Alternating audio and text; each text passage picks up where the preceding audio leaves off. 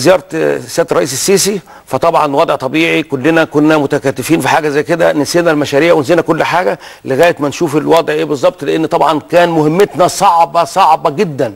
إن إحنا نقدر نحمي رئيسنا نحمي الرئيس السيسي من الإخوان اللي متواجدين في كل مكان.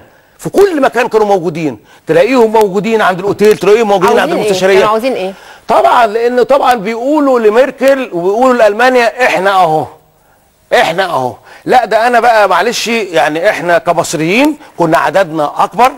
وكنا مجتمعين ناس جت من أوروبا بأتوبيسات وبطيارات كنا عددنا رهيب. ليه؟ جايين لمصر وجايين لرئيسنا. نقف جنبه مش هنسيبه لوحده. ده جميل مش جدا هنسيبه لوحده. ده حلو قوي. الخطوة بقى اللي بعد كده. آه الخطوة بقى اللي بعد كده حضرتك. إن إحنا نطبق ال- الأفكار. أكيد. عن عندكم أفكار حلوة أكيد. عندكم مشاريع أكيد. آه يعني مثمرة لو فعلا طبقت ونفذت. ولكن إيه الحلقة المفقودة اللي دايما المشاريع دي بتفضل حبر على ورق وملف